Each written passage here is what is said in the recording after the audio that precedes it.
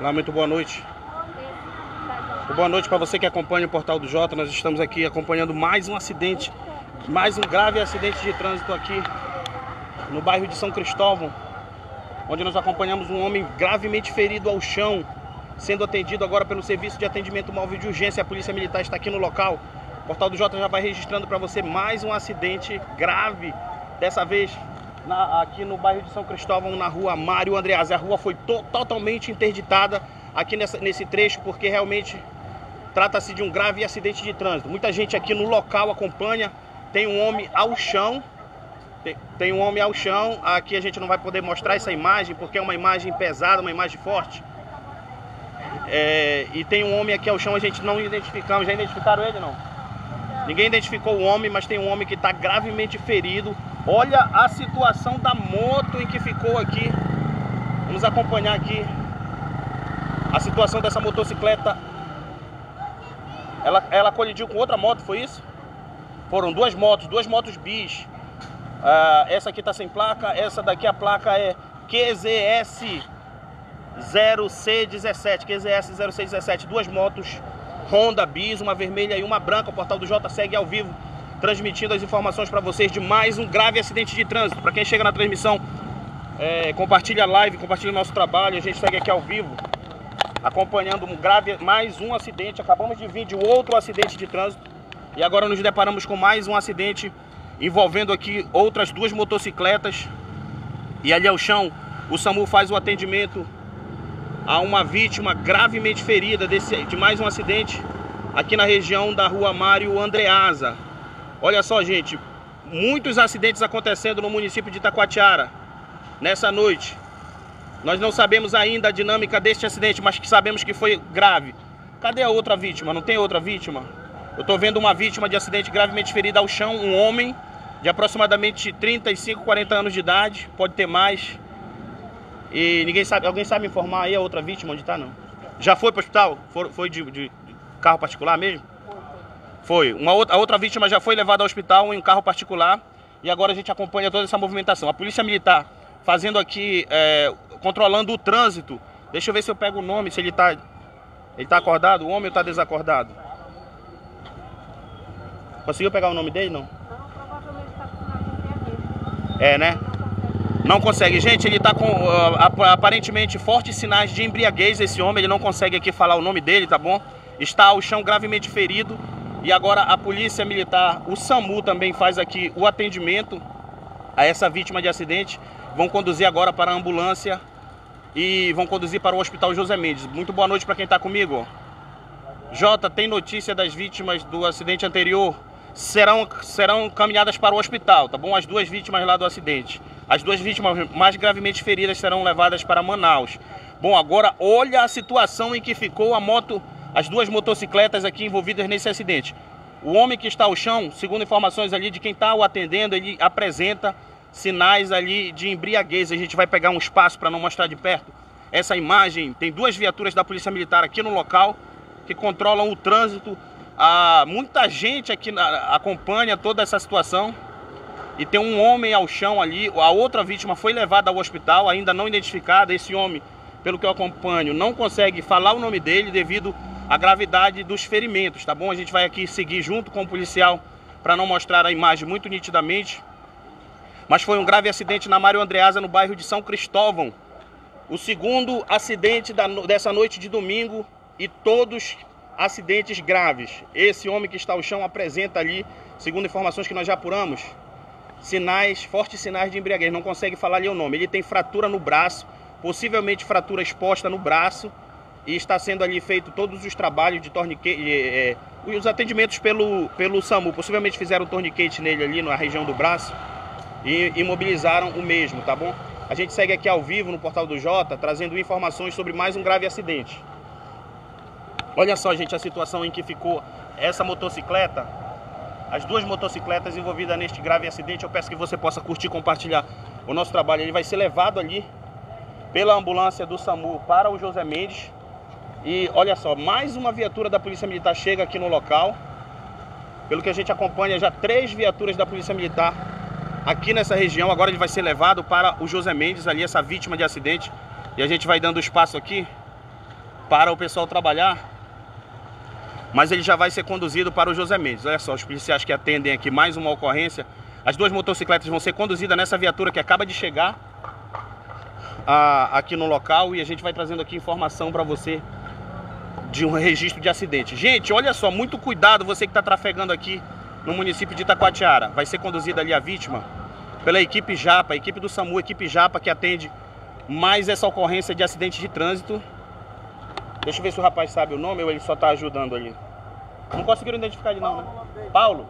É Paulo, o nome da vítima aqui é Paulo. Vítima de acidente lesionada que está aqui sendo levada para o hospital é Paulo, tá bom? O nome da outra vítima que foi levada para o José Mendes, nós não temos até o presente momento a identificação.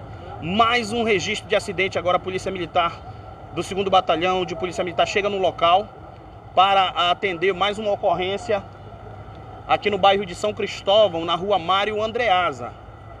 Muito cuidado, a noite está alterada né, relacionada a essa questão de acidentes. Muita atenção, você que trafega aí. Se puder, meus amigos e amigas que me assistem, usem capacetes. O domingo ah, o domingo, pelo que a gente acompanha, está um domingo bem agitado, bem movimentado aqui no município de Itacoatiara. Vai sendo feito aqui o registro fotográfico das motocicletas envolvidas, uma bis branca e uma bis de cor vermelha, que serão conduzidas agora pelo SAMU. Ah, o nome de uma dessas vítimas que está bem ferido, que foi atendido agora há pouco pelo SAMU, é Paulo. E a gente não tem o nome da outra vítima, porque quando nós chegamos já havia sido levada às pressas para o José Mendes. Para você ver a gravidade desse acidente, olha a situação, olha a situação do aro dessa motocicleta, gente. Vai vendo no detalhe aqui a situação de ambas as motocicletas que ficaram totalmente destruídas. Estão sendo colocadas aqui já no carro, na viatura do 2 Batalhão de Polícia Militar e vão ser levadas, vão ser conduzidas para a delegacia de polícia. Bom, a gente acompanha aqui a situação da outra moto.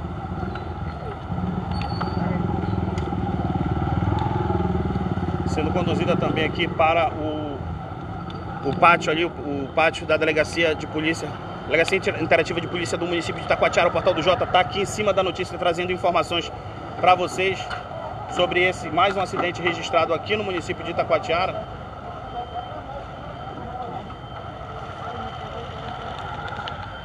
Olha só, a gente acompanha aqui a, a polícia aqui trabalhando também para conduzir essas motocicletas, tá bom, gente? E aí, mano? Tu tem informação de como foi? Só fez ajudar mesmo, mano? Só fez ajudar, amiguinho. Eu, eu cheguei bem na hora aí. O rapaz tá, tava embriagado, né? Em alta velocidade, né? Que não tem consciência, né? E deu de frente com o mototáxi aí que tava fazendo seu serviço, né? O mototáxi teve uma perfuração no peito, mas ele tava consciente foi de carona pro, pro hospital. Então a outra vítima era um mototaxista? Positivo. E esse rapaz embriagado teria colidido com ele? Sim, sim, sim. Ele veio sentido bairro, né? Sentido centro, aí colidiu aí com o mototáxi de frente aí. É, né? Aí tu, tu, tu, prestou essa ajuda, no caso aí, pra, pro, pro SAMU e pra polícia também, né? Positivo, sempre é bom, né? Dar uma força, né? O pessoal aí, aí que estão de serviço aí na noite aí.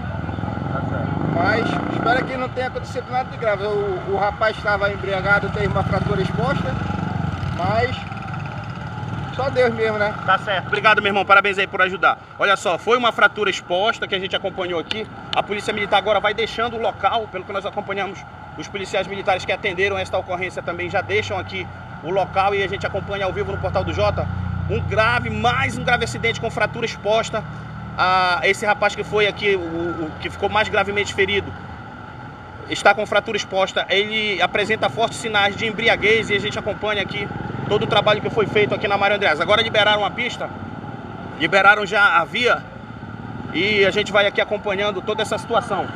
Para quem está comigo, compartilha a live, deixa o seu comentário, curte, compartilha, a gente segue ao vivo, trazendo informações através do portal do Jota de mais um acidente de, de trânsito e os destroços, os estilhaços aqui, os, os restos, os quebrados aqui da moto, os destroços das motocicletas ficaram aqui ao chão. Olha para o outro lado. Olha a vizinha tá mostrando ali, ó. Olha para o outro lado, vizinha. Olha o pedaço da moto onde ficou para você ver a gravidade desse acidente. Olha só a situação, gente. Isso aqui é o quê? Parte da saia, parte da frente da motocicleta Bison. Para você ver aqui como é. Vizinha, a senhora viu alguma coisa, vizinha aí? Quando a senhora chegou, já estava aí o pessoal? Já, já estava. Mas foi grave, né, vizinha? Foi grave, sim.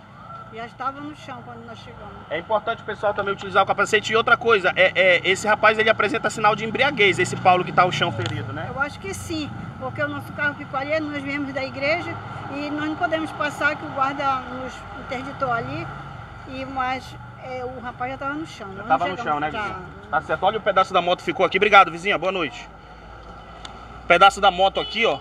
E a gente acompanha aqui mais essa situação, mais esse acidente de trânsito. A vítima, uma das vítimas foi levada para o José Mendes, as duas vítimas. Um foi o mototaxista e o outro rapaz Paulo que apresenta fortes sinais de embriaguez. Não, não dirige. Se for beber, mano, pega mototáxi, chama o Uber, chama sei lá o que, mas não dirija. Ah, os acidentes estão acontecendo em decorrência do pessoal misturar álcool com direção. Vai ficar aqui mais um alerta do Portal do Jota para você que acompanha o nosso trabalho. Bom, agora deixa eu trazer para vocês aqui os relatos. Vou já lá para o hospital para acompanhar, tá bom essa situação? Vamos já para lá. Lá a gente abre outra live. Vou fechar aqui mais. Hã? Tô. Ah, vamos finalizando aqui mais uma transmissão em nome de Drogaria 24 Horas, Drogaria Popular Leia, Baratão dos Remédios. Também aqui os nossos parceiros apoiadores, que é Alfa Refrigeração e também a Claro. A Claro fica na Adolfo Olímpio, na Galeria da Casa Puma, Arleson Plus na Rua Borba, Melo Casa e Construção e também Empório do Tereré aqui na Mário Andreasa. A gente trabalha com apoio de postos Ferreiro, posto de combustível que vende gasolina aí top. E também o Universo da Construção com super promoções para você. Muito obrigado pela audiência. A gente volta a qualquer momento, de qualquer ponto da cidade de Itacoatiara. O Portal do Jota leva sempre, sempre a notícia em sua mão. Até mais, pessoal. Tchau, tchau.